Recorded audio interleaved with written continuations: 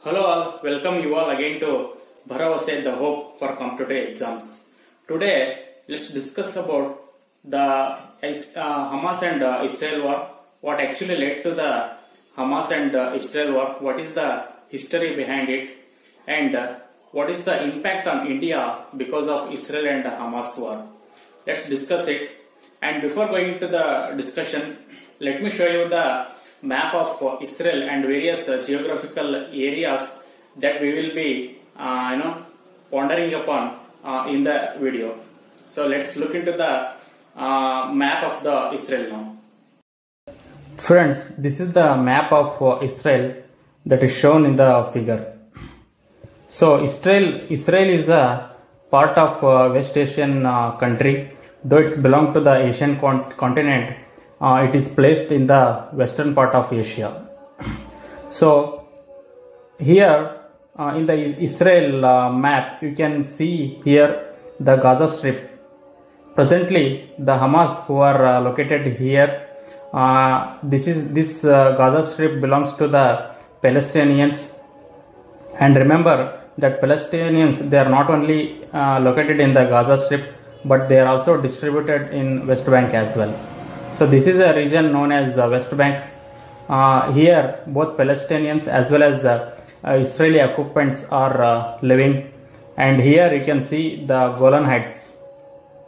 Golan Heights is a hilly region uh, which is uh, uh, located between uh, Israel and uh, Syria, and also here you can see the Dead Sea, uh, which is located between uh, Israel and uh, Jordan, and here uh, Jordan River, which forms boundary between uh, Israel and uh, Jordan, and also uh, remember the countries that are bordering uh, Israel. Those are Egypt, Jordan, and uh, Syria, as well as Lebanon. And also remember that is, the Israel is also bordered by the Mediterranean Sea.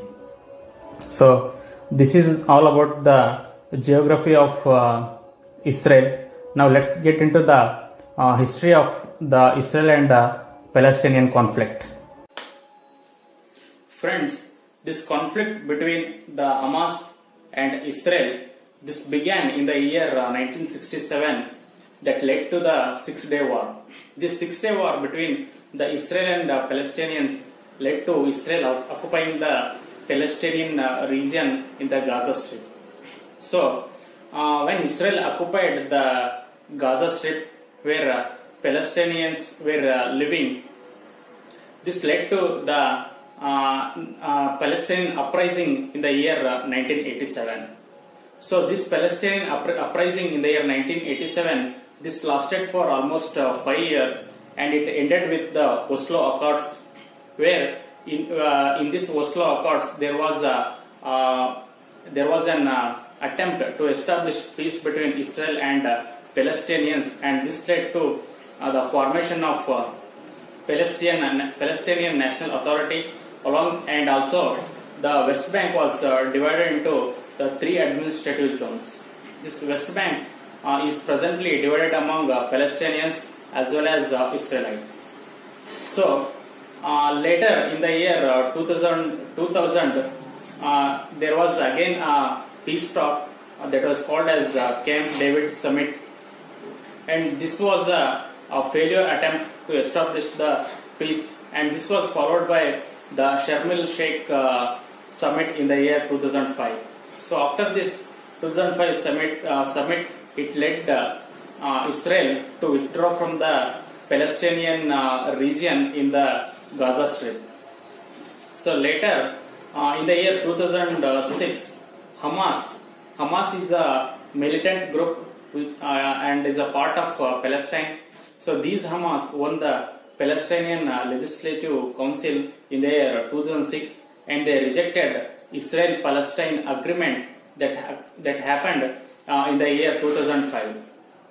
So when these uh, Hamas they rejected the uh, peace agreement between Israel and Palestine that led Israel uh, to blockade the Gaza Strip and Israel took harsh actions by restricting the trade with the Palestinians as well as the movement of uh, people uh, from Israel uh, to Palestine as well as from Palestine to Israel.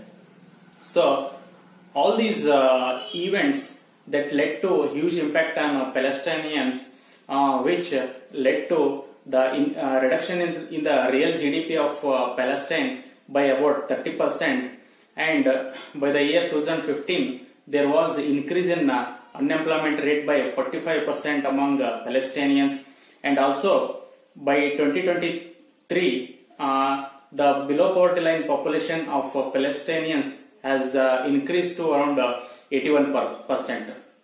So, using all these negative impacts on uh, Palestinians, these Hamas they radicalized the, the youth of uh, Palestinians.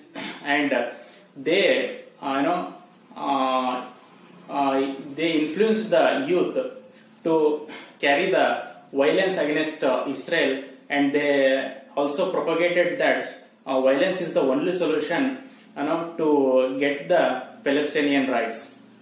So this is the overall background that actually led to the present Hamas and uh, Israel war that is uh, happening since uh, October uh, 7. So and let's let's see what is the impact of this Israel and Hamas war on India. So, since Israel is a part of West Asia, and we all know that we- West Asian countries, especially the Iran, Saudi Arabia, Iraq, they, these are the countries which are major suppliers of oil. So, since the uh, West Asian uh, region is uh, disturbed due to war, this will lead to reduction in the oil supply from the West Asia. When there is a reduction in the supply, it will lead to the increase in prices of the oil.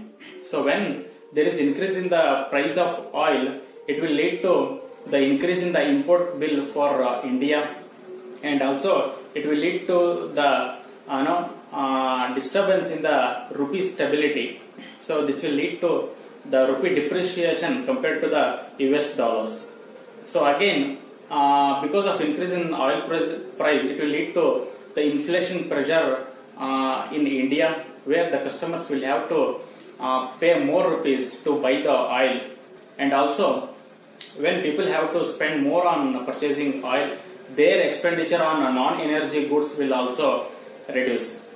So, and also this will lead to high fiscal deficit on the government uh, budget uh, because since government uh, gives subsidy on uh, oil as well as uh, LPG, uh, when there is increase in the oil prices, there is also you know increase in the uh, subsidy by the government. So this will lead to the increase in the fiscal deficit uh, by the government. So and also the next impact is uh, it will lead to the you know uh, suffering for the Indian diaspora who are living in the West Asian uh, region.